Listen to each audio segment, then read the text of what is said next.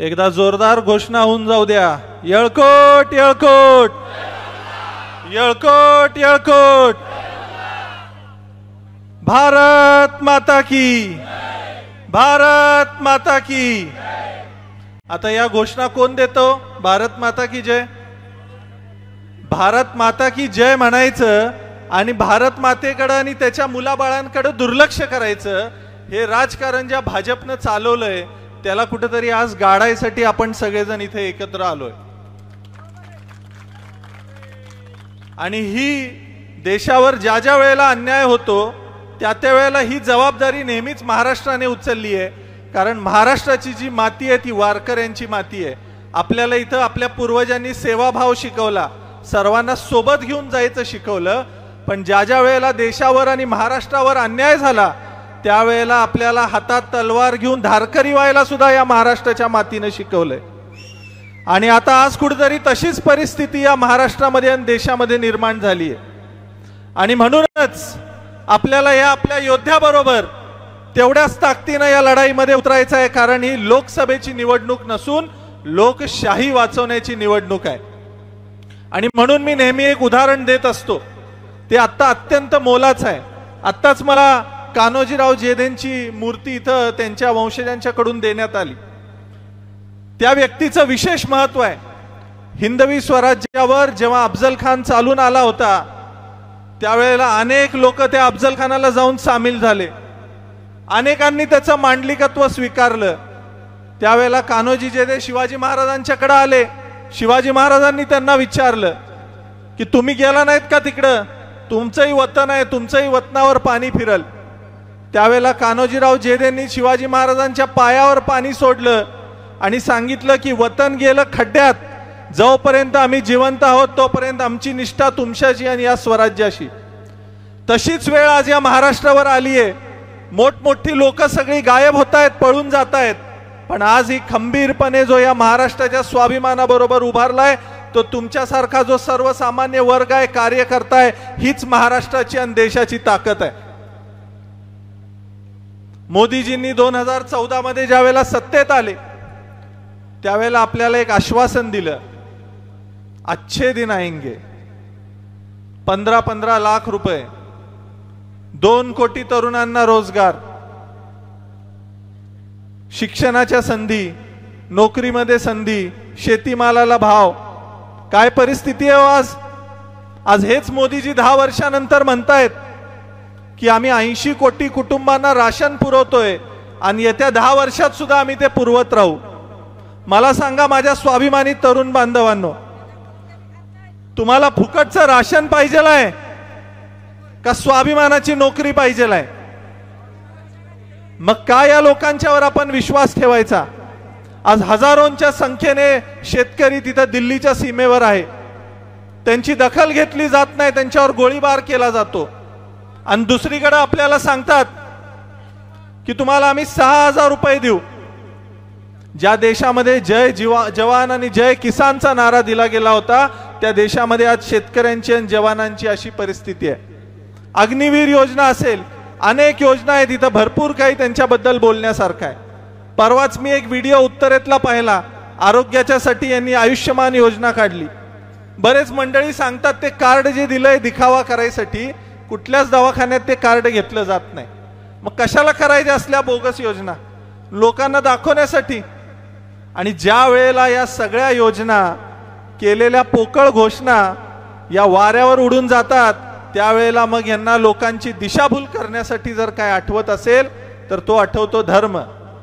आम्हाला अभिमान आहे. राम मंदिर बांधलं गेलं.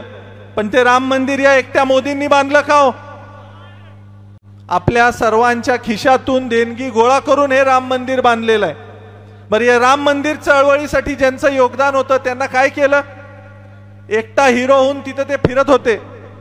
आपण हेच दोन हजार पाचचं अक्षरधाम मंदिराचं उद्घाटन बघा.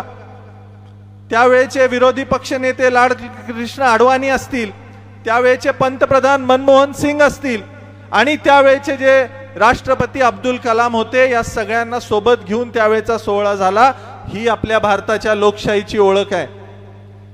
आणि इथं गटारीचं उद्घाटन असू द्या नाहीतर मंदिराचं उद्घाटन असू द्या एकटेच आमचे माननीय पंतप्रधान तिथं हिरो सारखे हजर असतात. हे लोकशाहीचं प्रतीक नसून हे हुकुमशाहीचं प्रतीक आहे.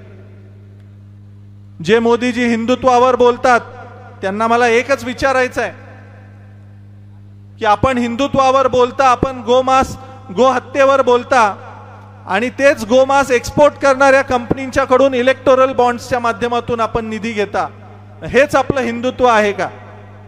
मी मागच्या सभेमध्ये हे स्टेटमेंट केल्यानंतर मला सगळेजण म्हणायला लागले की तुम्ही देवींचे वंशज आहे तुम्ही असं कसं बोलू शकताय? म्हणजे आता होळकरांना हे लोक हिंदुत्व शिकवणार काय? होळकरांना हिंदुत्व शिकवण्या इतकी कुणाची अजून लेवल आलेली नाही.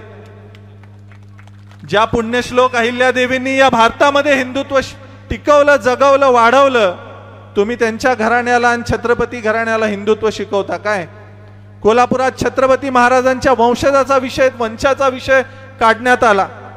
अहो ज्या छत्रपतींचं नाव घेऊन तुम्ही राजकारण करता ज्यांच्या स्मारकाची घोषणा तुम्ही अरबी समुद्रामध्ये केली होती त्या स्मारकाचं काय झालं हे आम्हाला तुम्ही आधी सांगा.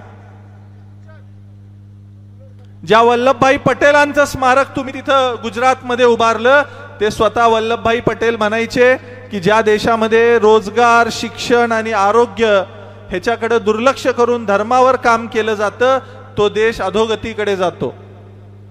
अटल बिहारी वाजपेयी म्हणायचे की ज्या देशामध्ये विरोधकांना गद्दार म्हटलं जातं त्या देशामध्ये लोकशाही टिकूच शकत नाही. पण जो स्वतःच्या बापाचा ज्यांच्या विचारावर हे चालतात त्यांचे झाले नाहीत ते तुम्हा आम्हा जनतेचं काय भलं करणार आहेत?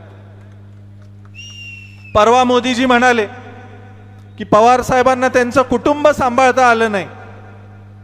मला मोदीजींना विचारायचं की आपण काय दिवे लावले?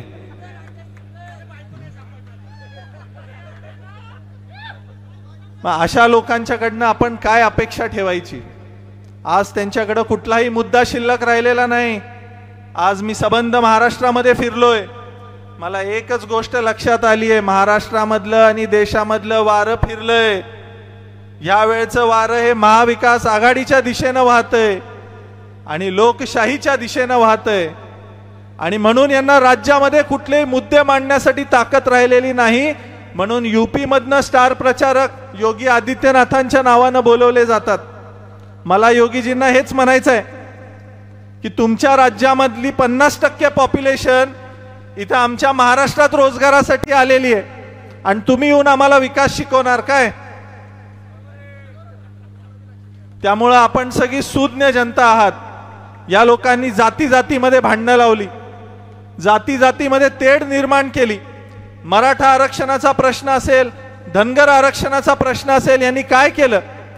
दोन हजार चौदामध्ये आपल्याला आश्वासन दिलं होतं. दिलं होतं का नाही? पहिल्या कॅबिनेटमध्ये तुम्हाला आरक्षण देऊ.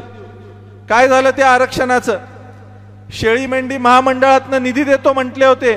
ते महामंडळच बरखास्त करायला निघाले होते. चारा योजना असेल यशवंत घरकुल योजना असेल सारथी बार्टी सारख्या विद्यार्थ्यांच्या शिक्षणासाठीच्या स्कीम असतील. सगळीकडे यांची बोंबाबोंब आहे. नुसती आश्वासनांची गाजरं ही आपल्याला दाखवतात. त्यामुळं आपल्याला यावेळेला निर्धार करायचा आहे. की जनसामान्यामध्ये मिसळणारा ज्यांना आत्तापर्यंत स्वतःचं आयुष्य या महाराष्ट्राच्या मातीसाठी संपवलं रुजवलं त्या आदरणीय पवार साहेबांच्या नेतृत्वामध्ये येत्या काळामध्ये आपल्याला महाविकास आघाडीचं सरकार या देशामध्ये आणि या महाराष्ट्रामध्ये आणायचं आहे. आणि हे जर करायचं असेल तर त्याची सुरुवात बारामतीपासून करावी लागेल. आणि आपल्या सगळ्यांच्या जीवाभावाच्या सुप्रियाताईंना ज्या नेहमी तुमच्यामध्ये राहिल्या वावरल्या त्यांना प्रचंड मतानं इथं आपल्याला विजयी करून द्यायचा आहे मी त्यांना पाहतोय अनेक दिवसांपासून. त्यांची सादगी ज्या पद्धतीनं ते सामान्यांमध्ये मिसळतात. कौतुक करण्यासारखं आहे. आणि त्यामुळं कोणताही किंतू परंतु मनामध्ये न आणता पूर्ण ताकदीनं आपण सर्वांनी पवार साहेबांना सुप्रियाताईंना बळ देण्याची गरज इथं आहे इतकंच मी आपल्याला सांगतो. मला पुढं परत सांगोल्याला जायचं आहे तिथेही काही सभा आहेत. मला एकच वाक्य इथं साहेबांसाठी म्हणायचं आहे ते म्हणून मी थांबेन. या महाराष्ट्राच्या मातीची ती परंपरा राहिलेली आहे. लढण्याचा इतिहास आमचा हरणे आमच्या रक्तात नाही आणि जोपर्यंत मैदानात उभा मी पराजय होणे शक्य नाही पराजय होणे शक्य नाही. आणि म्हणून जोपर्यंत पवार साहेब आपल्या बरोबर उभे आहेत तोपर्यंत जय आणि विजय हा नेहमीच आपला असणार आहे. इतकं मी सांगतो आणि थांबतो. जय हिंद जय महाराष्ट्र. धन्यवाद.